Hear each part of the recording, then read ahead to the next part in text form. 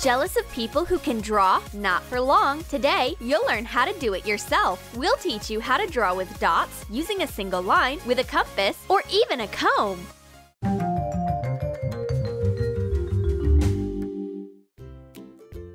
For our first work of art, take a sheet of paper and cut it into pieces. Choose a starting point for the drawing and use a felt tip pen to draw a line from it. Without lifting your hand, draw a teacup. Now, a knife and a fork. A pizza, a bathtub. Add an ice cream, and cake, of course. What's a holiday without a martini glass? See, you can draw anything with one line. Try it! You can do it!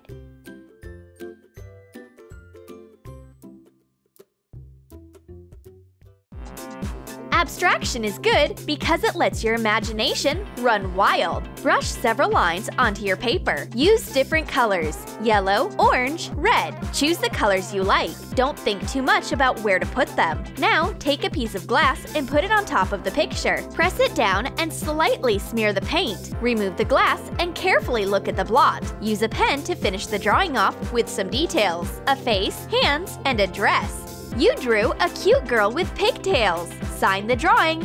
Make a few more. You'll never have to buy another greeting card. Shall we try to draw a portrait? Sketch it out with a pencil. Draw the contours of the face, the lips, and the hair. Take pencils and color the hair with light oblong lines of pink, purple, blue, and lilac colors. Shade in the contours with darker pencils. And highlight individual strands. Color a barrette and the bangs. Paint over the face and neck with a skin-toned pigment. Make the grooves and contours a bit darker. When everything is finished, draw lips, eyebrows, a chin, and a nose bridge with a brown pencil. All we have to do now is frame the picture. What a beautiful portrait! And it was so much easier to draw than it seemed. Now you'll need three sheets of paper and markers in lots of different colors. Draw a chain of small circles with an orange marker. Draw identical rounded triangles similar to orange slices inside the circle. Add a curved line. Shade the space around the slices with yellow stripes. Go over the lines and draw the drop-shaped seeds. Fill the remaining free space in the slices with a pattern too. An orange is ready! Now, draw a big red triangle with a green bushy tail. It will be a strawberry. Inside, draw a smaller triangle with a pencil and dash the distance between them. Mark the middle and draw a pattern. All you have to do is color in the leaves and your cute strawberry is ready. Similarly, using only strokes, points, and curls, draw a kiwi and combine the pictures. Fruit salad! Yummy, yummy! For the next life hack, take a sheet of paper and some gouache. Dip your finger in the paint and leave multicolored prints on paper. And now the most interesting part. Take a pen and draw a funny face on each print.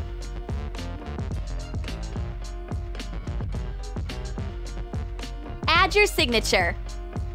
How quickly do you think your friends will find themselves in your funny little caricatures? Let's make the next drawing on a piece of notebook paper. Take a black marker and lines like these. Make several columns. Add diagonal segments to each block to get the arrows. Paint each column neatly in its color.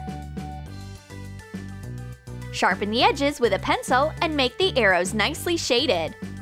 Hmm, what direction to choose?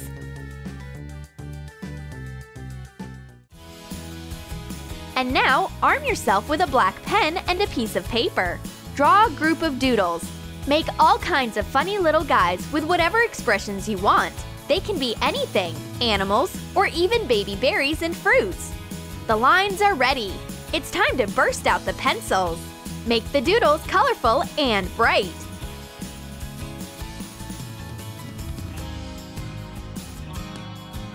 Your personal coloring book will relieve stress and tension from studying. and you will definitely smile more often.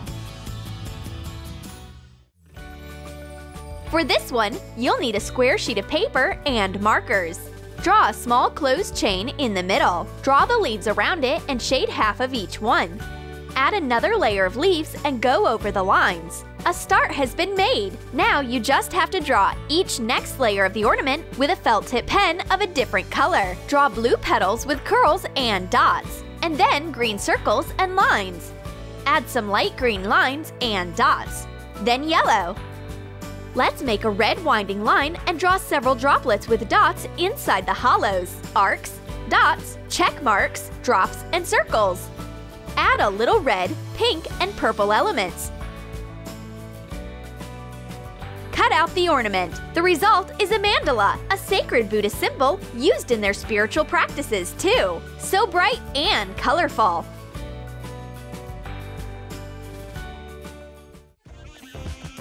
Now take a compass. Yes, you can create a masterpiece with it too. Draw a few circles of different diameters in contact with each other and intersecting each other. Use a pen to go over individual lines. Color the different areas to form a drawing. We've drawn a portrait. Continue to draw another picture. The original drawing can be seen in any set of circles. You can let your imagination run wild and come up with a masterpiece with just a few clarifying details. Like this, here's a whale swimming on the waves or a bird flying. You will definitely succeed. Just try it.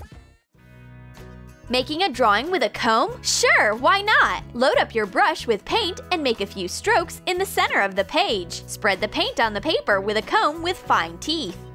Draw a rod. Change the colors of paint and repeat. What bird of paradise has lost these beautiful feathers? For this next lesson, you need a thick brush. Paint a triangle on a sheet of paper with water. Take acrylic paints and make strokes, only lightly touching the paper. The paint spreads through the water and you get beautiful stains with flowing transitions.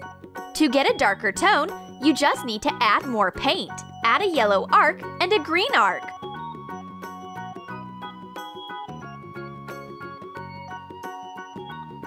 When the paint dries, add some black seeds and go over the lines.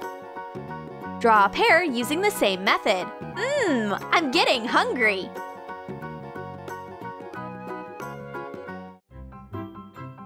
Now we'll learn how to draw a flying man on a small piece of paper using just a pen. Cover the free space on the paper with dots. Put the dots in a chaotic order. Make them denser as they get closer to the ground. To give the illusion of movement, make the dots thicker and draw them more closely around the body. Add your imagination on the go. The appetite comes while drawing dots? Also, fill the drawing of a deer standing on a mountain with dots. Here, the dots look like wind gusts. Or you can draw a sunset reflected in the sea and a couple in love sitting on a bench. Monochrome drawings are very in.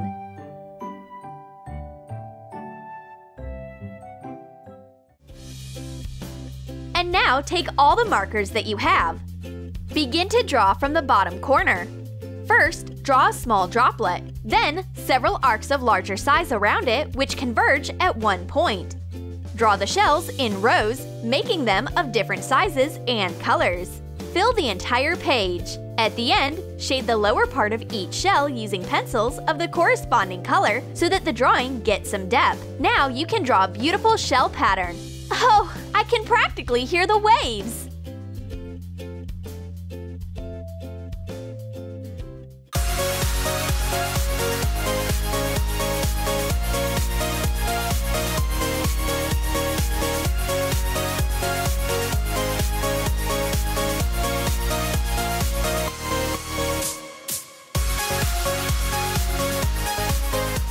Did you like our art lessons? Which idea will you try? Be sure to give this video a thumbs up and subscribe to our channel. Hit the bell so you don't miss the next best art videos on Troom Troom Select.